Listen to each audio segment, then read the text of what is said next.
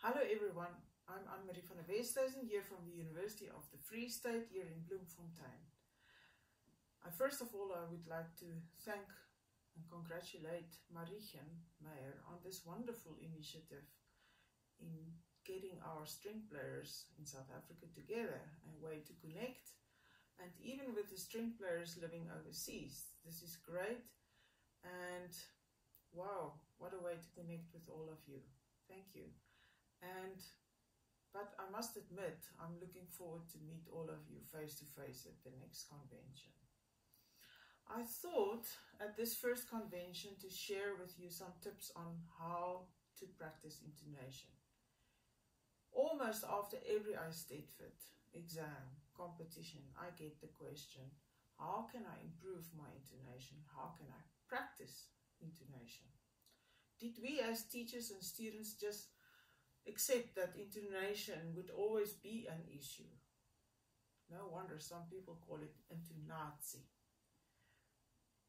Some players trust that intonation will solve itself after years of playing, but I can assure you that intonation is not something that we fix later. It's a vital component linked with the harmony, the melody, and the rhythm of every composition. Now, how can we express ourselves or convince the jury or the audience without having secure intonation? Now, the good news is that we can indeed practice intonation and improve it. The bad news, though, is that tips, that these tips that I'm going to share with you is not, are not instant solutions. This should form part of your daily exercises, part of warm-up exercises. Yes, we do indeed need proper warm-up exercises, just like sportsmen do not ever think that if you have perfect intonation, that it will also stay now forever. No, we have to keep practicing it and keep it in shape. Even our great masters tell you that intonation stays work in progress. Now my goal of sharing a few tips on how to practice intonation is to see that you will gain more joy in your music making, as good intonation will give you more confidence in doing so. These tips are aimed at the more advanced pupil, and this is not just a question of making up practicing hours, but mostly to train our ears as well as developing a physical and muscle memory. So my first advice is to make it a daily routine to practice scales and arpeggios with a drone. You can download cello drones from amazon.com uh, or if you don't have a drone you can maybe play an open string along but I do recommend get these drones it's really helpful so I'm going to do now E major and I'm going to listen carefully to each interval even if it forms a seventh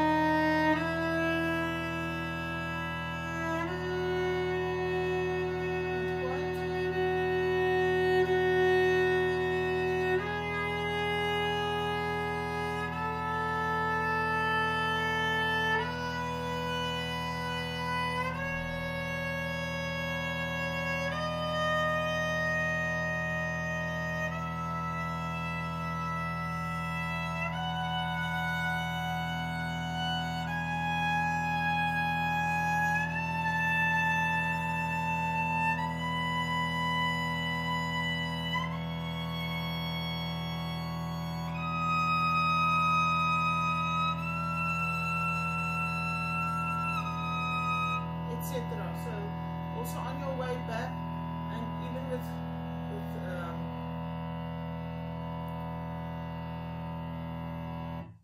and even with the arpeggios uh, and all the scales. Um, to practice scales, we also have a better chance of knowing our internal pitch as well as our physical and muscle memory. And we also get to know the geography of the instrument. My second tip that I would like to share with you is to concentrate on strong and accurate finger placement.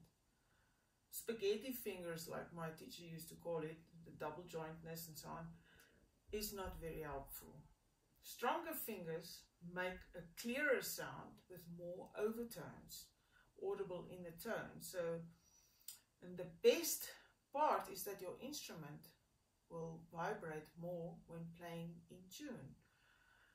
And this will result in having a bigger sound. Never settle for a half of tune note in your practice room. So always correct it uh, in your practice room. So if I play the chanson, the, the swan, so the beginning, to really start with not a, a, a skew, skew fourth finger, but really as accurate and strong fourth finger. It's already, you can hear the difference. And it's just a question of the angle getting stronger. And so often when they do the shift to this fourth finger, they scare and it lands skew. So accurate strong fingers.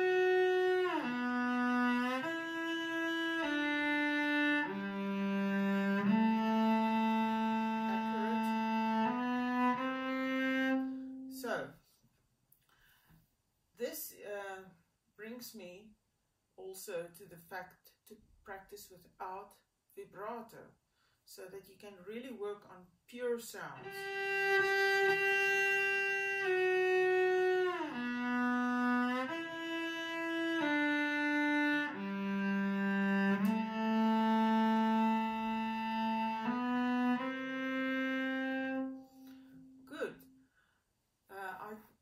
Across lately a uh, a cellist called Alban Gerhardt, who even play concerts, not only practicing with earplugs in his ears. So that cuts out the overtones and make it really a pure sound.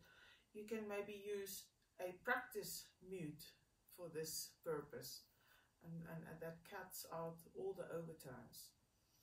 Another possibility or way to practice intonation is to play all double stop possibilities in each position. Uh, here I have a book uh, by Janos Starker, an organized method of string playing that has all the possibilities of these different intervals. So.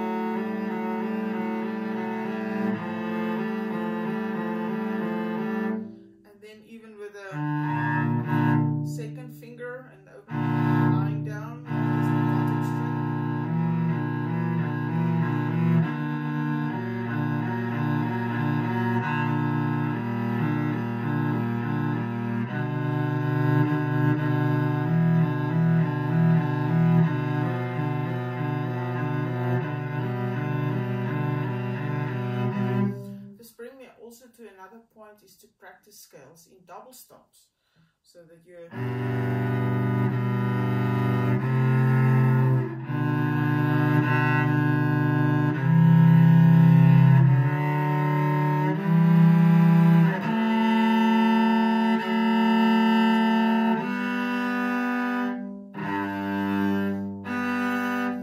etc.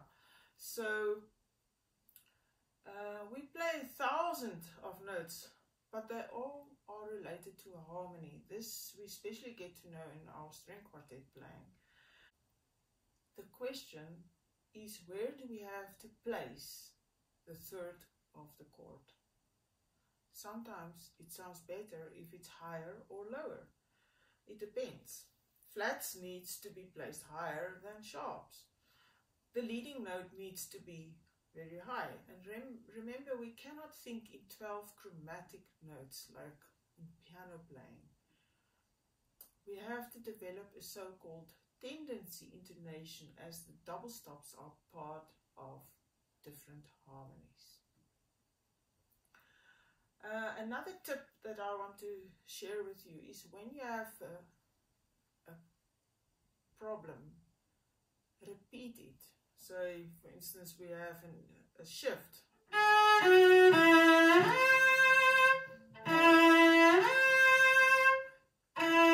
But before we shift, we need to know in our ear where do we shift to so that we can hear the sound, the, the note before we shift. Okay, Misty.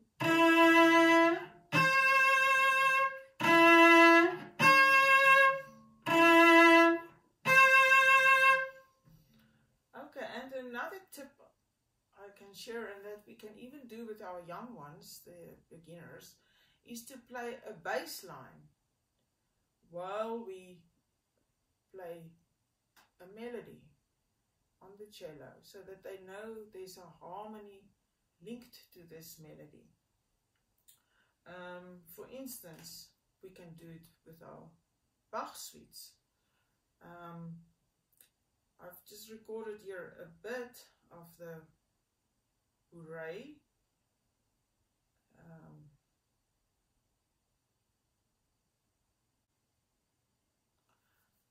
so here's an example of playing the bass line while you're playing a Bach suite. I'm just going to do two lines of the Bourrée of num suite number three, for example.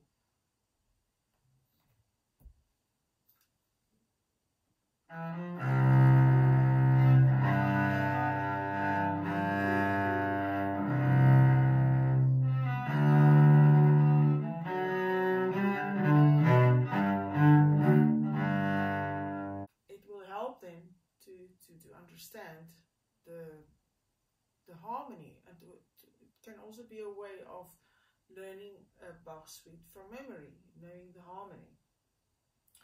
So the most fact that I want to bring across today to you is that we must listen to ourselves.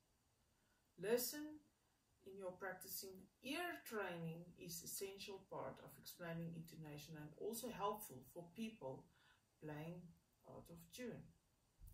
Another book that I came across during lockdown, namely Cello Mind, is written by Hans Jörg Jensen, one of the greatest cello pedagogues alive. He mentions interesting facts such as when you're nervous, you hear things differently. Therefore, it's even more important to have your ears open in your practice room. He also writes about the approximate intonation that exists in orchestra playing. So you see, you hear, practice intonation stays work in progress.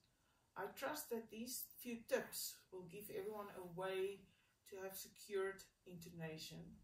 And if you have any questions regarding this issue or you want to share some of your own tips with me, you're welcome and I will really appreciate that.